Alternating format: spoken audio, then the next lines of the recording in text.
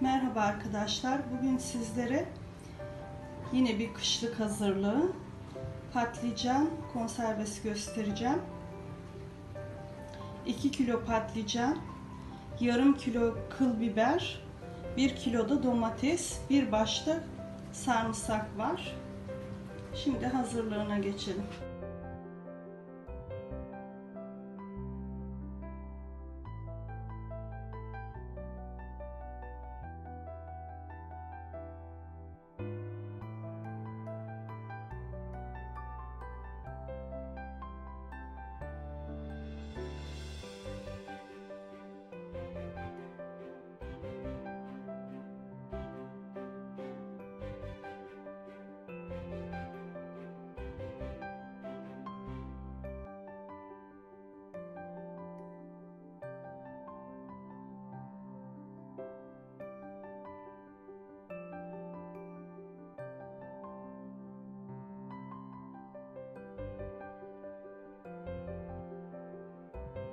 Küp küp doğradığım patlıcanların üzerine bir çorba kaşığı tuz ilave edip suda bekleteceğim.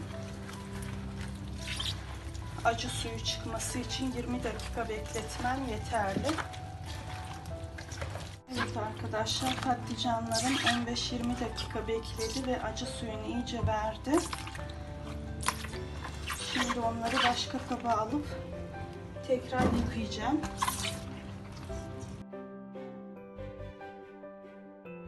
Öncelikle biberlerimi koyuyorum pişirme tencereme. Birkaç dakika biberleri kavuracağım. Sonra patlıcanları, domatesleri ilave edeceğim. Evet arkadaşlar tencereye hiç yağ koymadım. Biberi 1-2 dakika böyle kavurdum. Üzerine sarımsakları ilave ediyorum.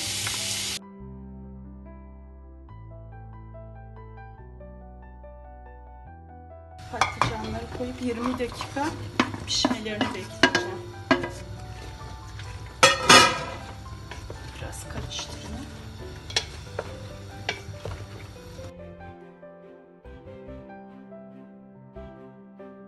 Evet arkadaşlar patlıcan konservem hazır. Şişeleri alıyorum.